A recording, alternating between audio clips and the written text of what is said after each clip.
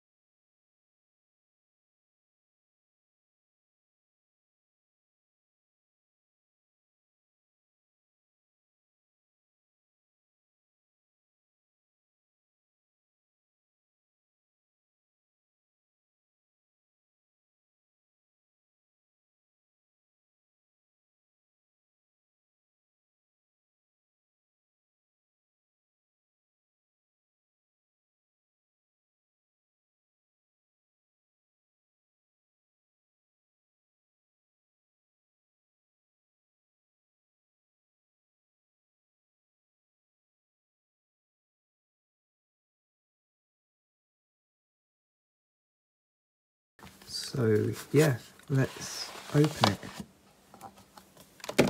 See here it is. Uh, normally there'd be a little peel on the front, but obviously there's not. Um, uh, you've got all the LEDs. Something I find quite interesting is you may know that TP-Link have this new logo. It's not really new, but like they had the old logo. Um, if you look in here, it's got the old logo in the Ethernet port. It's got the old TP-Link logo. Um, but yeah, it's got the WAN slash LAN because you could use this as an access point or like just a router on its own from an Ethernet cable. Or you can use this as a client to connect something that has to be on a wired network to a Wi-Fi network basically. And there's different modes. See, what I needed to be on when I was doing the thing in McDonald's was I believe it was share hotspot. But I was on this bottom one and was going on the configuration website and setting it up as a range extender. But on the bottom it's got the micro USB. Yeah, when I bought it I thought it would have a built-in battery. No, it doesn't. You have to run it off a wall plug or a power bank. And then it's got the USB for a 3G, 4G modem or you can use it for file sharing. So you see I've got an external drive here and you can just plug it the right way around. You can use it like that to file share stuff on the network. So that's quite useful if you're travelling, I guess. Uh, yeah, so let's get into the rest. You have a little Wi-Fi card that gives you its default SSID and it gives you a space to write down your own if you change it, which you probably will because it's a lot nicer. And then in here you have power cable, which also with micro USB cable, which also has the old TP-Link logo on it, which is quite interesting. And then you get this flat, fairly long and quite nice Ethernet cable, except for it keeps its shape, it doesn't actually go flat. Um, and then plug, yeah. Uh, here's what I should have looked at when I first set it up. So, do so yeah. scenarios. During travel, I want to. The wired network is only limited to one device connect at, at a time, and I want to share internet with my Wi Fi devices. So, share Ethernet is what you want to go on to. And if you want to turn an existing public Wi Fi network into a private network, uh, you want to click share hotspot, which is what I didn't do. What I did was the one of the at home ones. I tried to set it up as a range extender. Um, so we're going to mainly focus on the at home one since we're not out. Let's plug it in. I'll set it up as an access point first. So this is my little setup for it to be an access point. So it's on that mode. And if I did share Ethernet, it would do the same thing, but it would be isolated from this network. So the device, so this router would not be able to see the devices connected to this. But with it set up as an access point, this router can. Uh, so that's the difference between them two modes basically. So yeah, you can see it there, TP link underscore. Obviously, it'd be different for yours and that. The password to get into that will be on the card. So there's the five. There's a normal one which is two point four gigahertz, and then there is the five G one, which is five gigahertz. And I think it should just straight up just work. And yeah, it does, and that is pretty much my full speed. If you want to change the settings, this is the website you go to tplinkwifi.net and the user and password to get in is just admin admin which you can change obviously and yeah there's a quick setup here so it knows it's an access point so you can say yeah and this is the quick setup for the 2.4 gigahertz and you can change it if you want and you can also change like the Wi-Fi channels the channel width whether it's BG and N mixed or just B and G mixed if you want to have N as well. Um, and you can do the same sort of stuff for 5 gigahertz. And next, and yet finished. So you could change the Wi-Fi name or whatever you want when you're on there, and then there's all these other options here as well. So I'll now show you as a range extender, just to show you the setup. It's the same sort of setup if you do the um, share hotspot, except for you can change the Wi-Fi password because it just replicates the password as the one you've connected it to uh, when you set it up as a range extender. Now, the thing is with using this as a range extender is the Wi-Fi signal isn't that good, especially the 5 gigahertz. I would only really connect to this if you're in the same room as it. Otherwise, I wouldn't bother.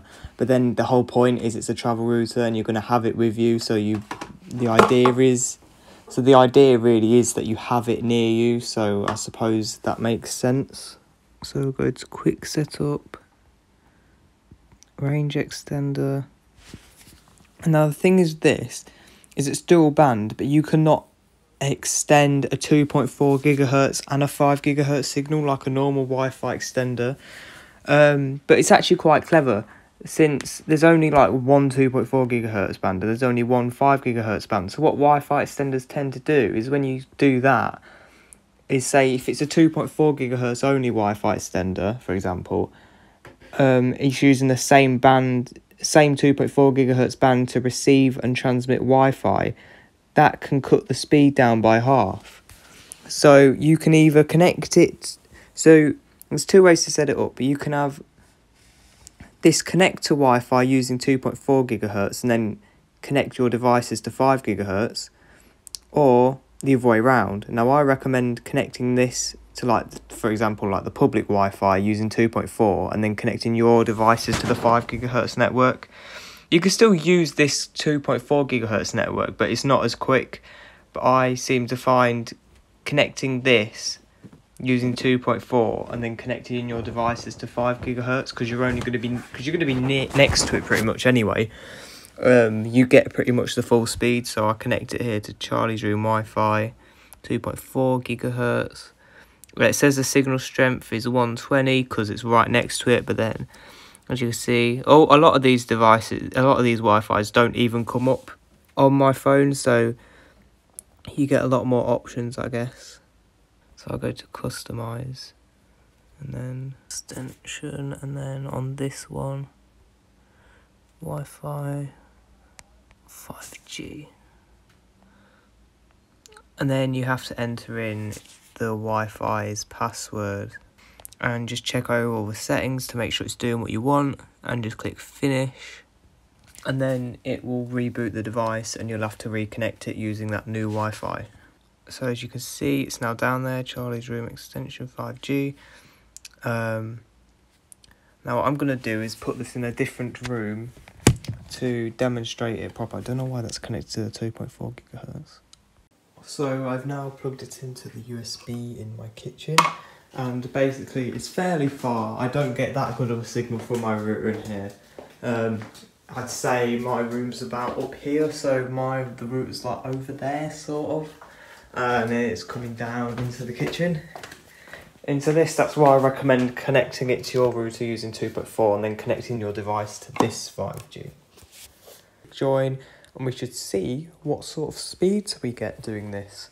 Now obviously it varies in how you have it set up, what what Wi-Fi you're connecting it to. A lot of public Wi-Fi's are not very good, but and yeah, that's pretty much the full Wi-Fi speed. So yeah, thank you guys for watching. I hope you guys enjoyed a more in-depth video rather than the other video where I was just sort of unboxing it outside Curry's.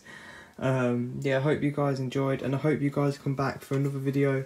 I should soon have a video out about this um, and maybe some more products that I'll buy and yeah, uh, thank you guys for watching. Hope to see you in the next video. Bye.